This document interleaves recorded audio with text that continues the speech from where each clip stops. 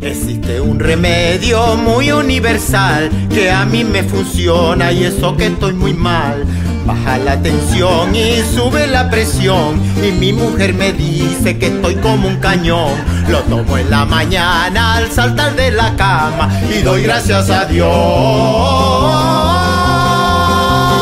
por el zumo de papaya, zumo de papaya, zumo de papaya, zumo de papaya.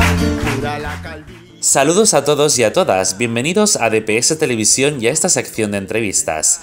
Tal día como hoy, pero en 1994, hace exactamente 30 años y un 7 de abril, aparece un grupo musical que aprovecharía la música, los chistes y el humor más desenfadado que lo llevaría al éxito allá por donde va. También hay que decir algo muy importante. Para mí, para toda la isla de La Palma, es un inmenso honor saludar en representación del trío zapatista a Ramón Araujo, que nos ha concedido unos minutillos para recordar toda esta trayectoria de este gran grupo. Ramón, bienvenido. Eh, muchas gracias, Daniel, encantado. Pues aquí te tenemos ya contigo para ahora empezar a hablar un poco sobre esta trayectoria. Todo empieza con el nombre Anti-Crisis Consort. ¿Cómo surge esta idea? La idea realmente fue, la idea anticrisis era cuando Jorge Valdano era entrenador del Tenerife.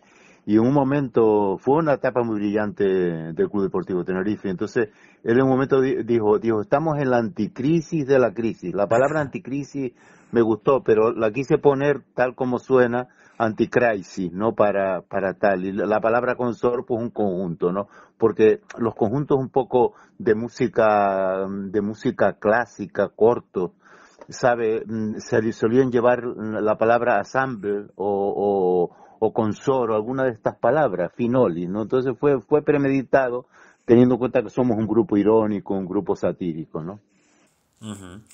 Trío Zapatista fue el segundo nombre que se le puso a este grupo. ¿Por qué pasamos de Anticrisis a Trío Zapatista y cómo ha ido evolucionando?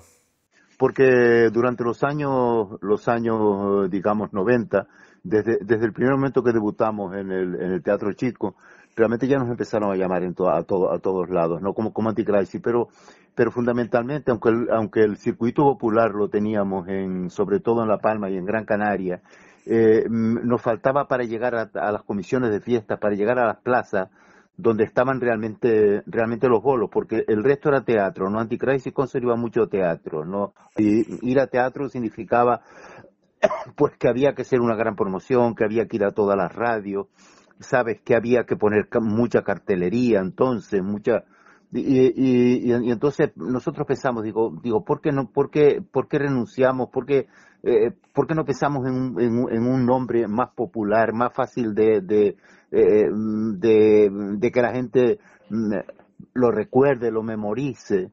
Y, entonces nos ocurrió el tema del trío zapatista. Al, principio era un diseño pensado en hacer también canciones de la Revolución Mexicana, de para allá los años 20 y 30, que nos gustaban mucho, ¿no?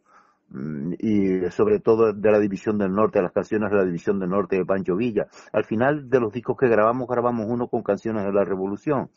Y, pero al final pues seguimos haciendo lo que hacíamos siempre, ¿sabes? Canciones de carácter satírico, con gran componente mímico y, y teatral. Lo que pasa es que el nombre y el diseño que teníamos con las cartucheras y tal era como más original y nos permitía pues llegar al, gran público realmente. Si hay algo que caracteriza a este grupo es la combinación de la música con el humor y en particular el espectáculo, además de la actualidad que de las noticias que se sucedían en la isla de La Palma. ¿Cuál es el proceso de creación de esas canciones, Ramón?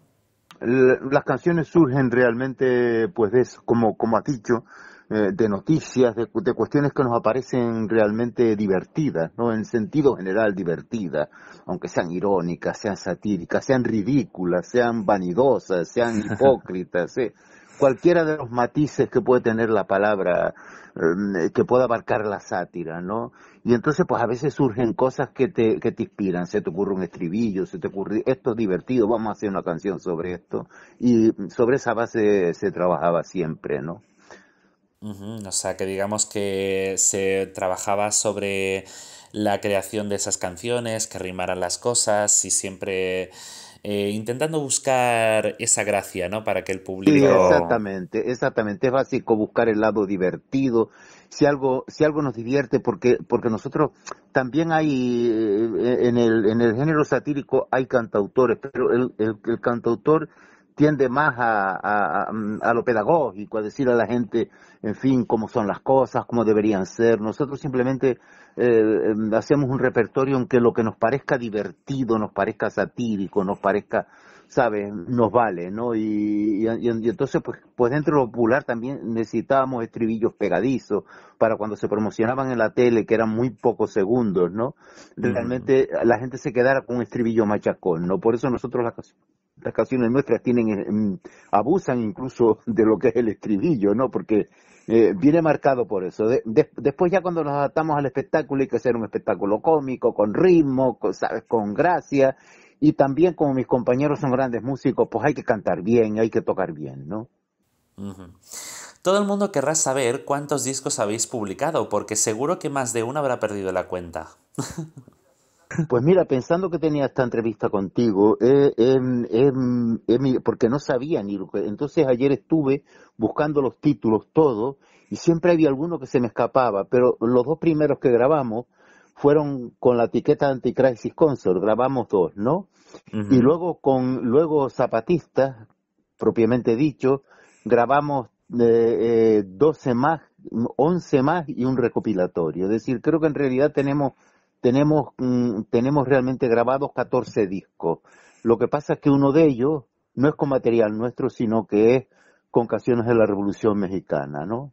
Uh -huh. El trío zapatista canta la Revolución Mexicana. El resto, todo el material, todos los discos, ¿no? Prácticamente toda la discografía, menos este de los 14, eh, es material propio. ¿no? Y, y, y además una cosa que yo creo que debería estar en el Guinness, que yo creo que somos el único grupo que ha grabado, no sé si ocho discos seguidos, no sé si son siete, ocho discos seguidos, todos los años en directo. Es decir, eh, preparábamos, un, preparábamos un material, eh, la productora eh, encargaba, pues a lo mejor un hotel en, en, en, en, Ingenio, en Gran Canaria, normalmente grabábamos siempre, en Agüimos, Ingenio, un hotel y en ese hotel con un gran salón que tuviera un saloncito, metíamos a 30 o 40 personas y hacíamos un concierto en directo. A veces un, en un día solo bastaba y a veces tocábamos dos días seguidos y elegíamos el mejor material. Yo creo uh -huh. que eso es una de las realmente particularidades que nosotros tenemos, que yo, que yo, que yo sepa, no conozco ni un grupo en la historia de la música que, haya, que haya grabado siete, ocho discos seguidos todos los años en directo. Eso lo hicimos nosotros con el trío zapatista, sí. Ajá, o sea que estamos hablando de que cada año eh, reservaban un teatro para grabar ese álbum en directo. Sí, sí, sí. O, o sea, el, lo que hacía, lo que hacía la, lo que hacía la productora era alquilar un pequeño, un pequeño hotel, ¿sabes? Un pequeño hotel y, y en ese, y en ese hotel eh, que tuviera un salón, ¿no? A veces era un hotel rural, a veces era un hotel urbano pequeño, uh -huh. como, como era el caso de Agüime y, y, ahí realmente en ese salón invitábamos a 30 o, o 40 amigos y tocábamos para ellos, ¿sabes? Entonces ese, ese era el material. Después a lo mejor si una canción iba, iba a ir ya a promoción a la tele, la productora la quería promocionar, o sea, hacía uno de los vídeos que tú has visto mucho, pues realmente mm, sí, entonces... Claro Sí, entonces realmente ya, ya ese tema lo pulíamos un poco más. Cogíamos la base de lo que habíamos grabado, le añadíamos algo, tal vez un peque una pequeña percusión, un bajo, o, o ¿sabes? Una, una pose más. Eh, pero el resto prácticamente quedaba tal como lo habíamos grabado, con las risas de fondo, siempre se oían risas de fondo y los aplausos porque era grabado en directo, ¿sabes? Claro, evidentemente toda toda esa cuestión de, de, del directo. Ustedes allá por donde van siempre triunfan y la gente se lleva una buena risoterapia a su casa que tanto hace falta. ¿Cómo lo habéis sentido a lo largo de estos 30 años de historia? Pues ese es el, ese es el punto clave. Realmente ahora, yo que hago, que hago balance ya por la edad que tengo y todo, ¿no? Realmente hago, hago balance y, y, y digo, ¿qué es lo que hemos hecho? Pues hemos hecho una especie de terapia personal pero creo, creo que esa terapia también se la hemos hecho a, a, los demás, ¿no? Creo que el material ha sido, ha sido curativo para, para ahuyentar y, y iluminar nuestros propios demonios, ¿no? Y al mismo tiempo um, llegar al público, provocar esa catarsis, esa risa, esa risa muy, muy a menudo desenfrenada, a veces contenida, sabes, eh, los públicos a veces son más expresivos, pero creo que siempre hemos, mm, mm, hemos mm, utilizado eso como un factor de catarsis, ¿no? Vale, catarsis en ese sentido de, de olvidarnos un poquito de los problemas y tal, claro, y centrarnos un poco a ver qué pasa aquí en la actualidad de la isla de La Palma. Pues bueno, a lo mejor le vamos a echar un poco de risita, ¿no? En caso de, de la actualidad política que a veces es un poco convulsa en algunas ocasiones, ¿no? Pues bueno, Ramón Araujo, eh, miembro del trío zapatista y vocalista, muchísimas gracias por haber aceptado esta invitación tan especial para DPS Televisión. Feliz cumpleaños, trío zapatista, eh, que os lo merecéis. Y a los que escuchen esta entrevista ya saben que, que siempre el zapatista triunfa allá por donde va. Ramón, muchísimas gracias por estar aquí. Muchísimas gracias, un placer como siempre, Daniel. Un abrazo muy fuerte. Adiós. Por el zumo de papaya, zumo de papaya, zumo de papaya, zumo de papaya. Cuando voy a la playa no llevo bronceador, me aplico la papaya, aunque de mal olor. Y luego me revuelco por toda la arena, me siguen como moscas todas las brasileñas. Lo tomo en la mañana al saltar de la cama y doy gracias a Dios.